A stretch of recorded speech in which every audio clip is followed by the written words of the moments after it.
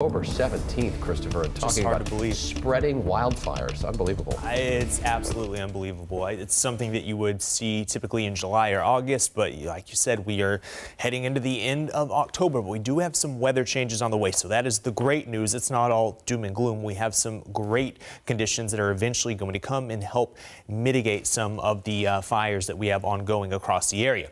Live look at the Seattle waterfront. If you look closely, you can kind of see that haze still lingering around across the area. And this is going to be the big thing we're focused on throughout the day. While we see gradual improvements, we're not going to see all of that wildfire smoke move out of the area. 53 degrees, temperatures area wide are pretty nice. 40s and 50s. You almost just want to open up the window or have that cup of coffee on the patio. But unfortunately, you can't do that with that smoke that continues to linger across the area. 55 for my friends in Everett, 48 in Mount Vernon. Good morning, Port Angeles. 50 degrees there. A little bit cooler in Olympia, checking in in the lower 40s and those temperatures this afternoon while we are still a little bit above average. I think we're going to take this temperatures in the 60s.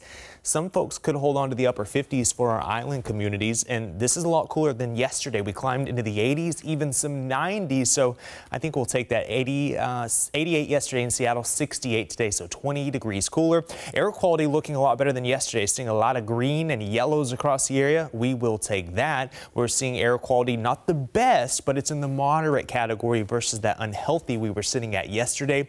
A little caveat as you work your way into the Cascade foothills for King, Snohomish, Skagit, Whatcom counties, still seeing some of that greatly reduced air quality, especially in parts of Skagit and Whatcom counties. So just to the east of Bellingham, seeing a little bit of some of the higher smoke due to some of the fires that are ongoing in the northern Cascades. So just keep that in mind. If you're sensitive to the wildfire smoke, limit that time outdoors. Current smoke mainly along and east of I-5. Notice we continue to see that slow onshore push really pushed the smoke east of I-5 this afternoon. But if you live in the foothills, you're going to be socked in with the smoke this afternoon and possibly continuing into the upcoming week until we get that rain on Friday.